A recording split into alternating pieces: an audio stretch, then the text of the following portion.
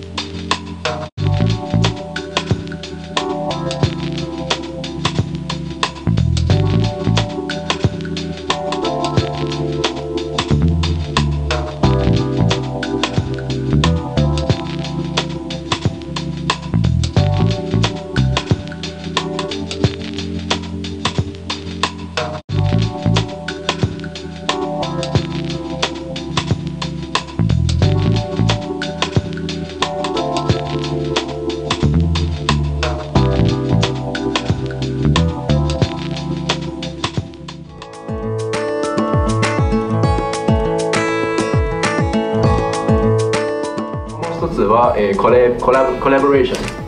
コラボレーションですね。で意識してからいろんな人とコミュニケーションしてじゃあ次は一緒に何かしましょう。コラボレーションが重要と思います。私はやはりジェンダーディバーシティですね。最近僕はよくあの考えてるのはそのオリンピックのね開会式っていうのはどういうものになるんだろうかってそれがまさになんかある意味すごく重要なことなんだなってそう日本をこれからどうやって世界に発信していくのか。ねだからそこが自分は一番今心配ですね。イメージとしてね今外国人の話がやっぱりずっと出てるんですけど例えば障害を持ってるとお友達だったりとか外国にルーツのあるお友達だったりとか、まあ、いろんなお友達年代の違うお友達とか自分の子供たちがいろん自分の子供の周りにいるお友達がいろんなお友達をいっぱい連れてくるようなそんな風になったらいいなっていう風に思ったのが一つとそれからさっきお話を聞いてあの県議会も女性がすごく少ないんですよね。で今議会をやって県のその幹部の方が前にあの当局って言われる方々もあの対峙をするわけですけども今全員男性なんですよ。みんな黒いスーツ着てこうやってビシッて座ってる。であの県の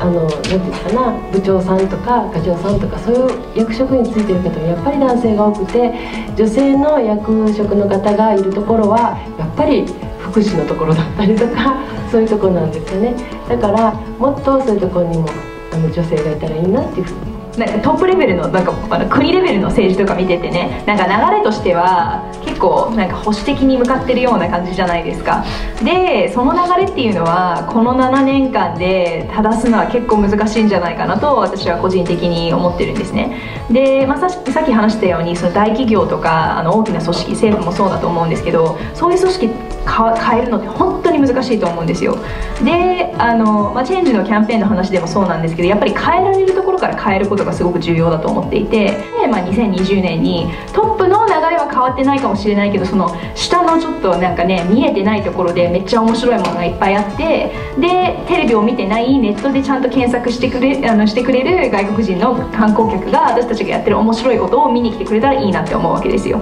だからそのメタレベルのでの違いは多分7年ではできないかもしれないけどそのもっと表面下であのやっているのがあのいいんじゃないかなと思ってます。保守的な社会と多様性っていうのは共存できないものなのでしょうか。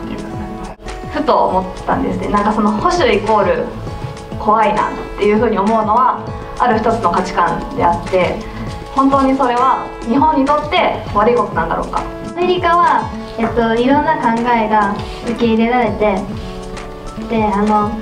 そうち違ってることが違ってることも楽しいと考えれるけど日本はそうじゃないですか。あのあの